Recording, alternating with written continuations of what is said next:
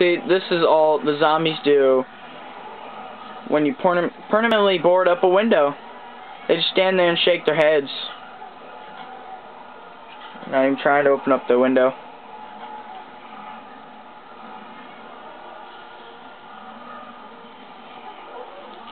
And pretty soon, they all start dropping dead.